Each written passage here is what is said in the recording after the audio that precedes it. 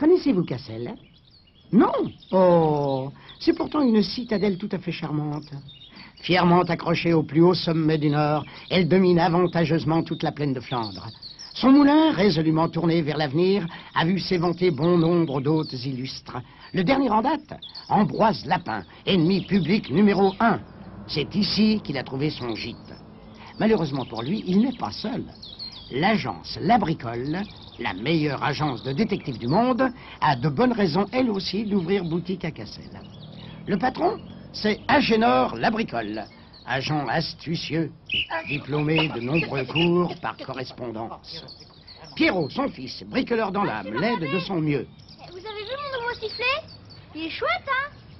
Quant à Barnabé Moll, adjoint d'Agénor, il a eu une grande idée.